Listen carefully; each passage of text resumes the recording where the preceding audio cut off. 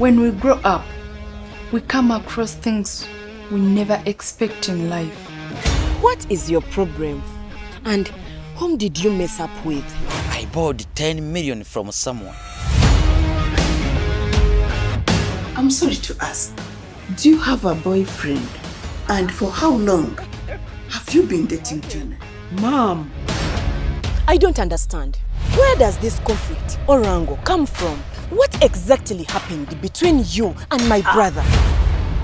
It's now over the period you promised to pay back. Think of something that is equivalent to that price. I hope that you're firm on your legs on the floor because what is going to vibrate in your ears can seriously make you run mad. Mom, do you know that you're big for nothing? Can you shut up? Only when you tell me. In Aditayudi story, how you fell in love with Johnny. You will swing in pain until when we sit on a round table. I didn't enter your room to pay you a visit. I'm carrying a luggage of dangerous warnings.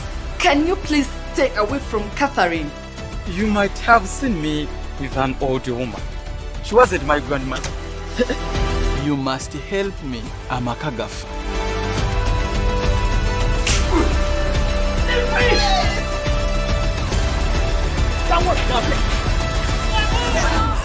I'm not going to fight any of you, but I will crush all of you.